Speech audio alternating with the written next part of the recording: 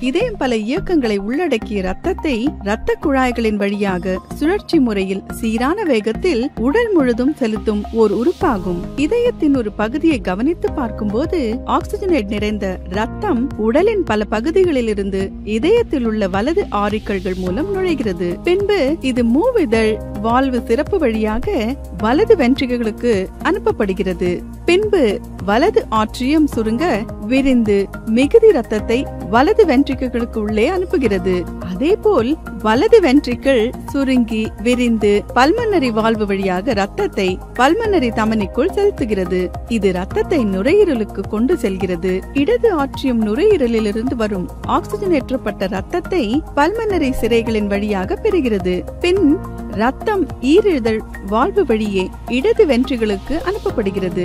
Ventricle சுருங்கி விரியும் போது ரத்தம் பெருந்த மணிக்குள் செலுத்தப்படுகிறது. அங்கிருந்து ரத்தம் உடலின் பல்வேறு பகுதிகளுக்கு செல்கிறது. இதய தசைகள் தொடர்ச்சியாக துடித்துக் கொண்டே இருக்கிறது. இதனால் ஆட்ரியம் மற்றும் வென்ட்ரிக்கிள் ஆகியவற்றில் சுருங்கி விரியும் செயல்பாடுகளை சீரான முறையில் இயங்க வைக்கிறது.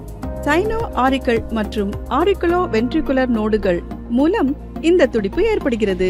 இதயத்தின் உள்ளே ரத்தம் ஒரு குறிப்பிட்ட திசையில் மட்டுமே பாய்கிறது. ஆற்றியத்தின் சுருங்கி விரியும் செயல்பாடே ஆற்றிய சுருக்கங்கள் என்று அழைக்கப்படுகிறது.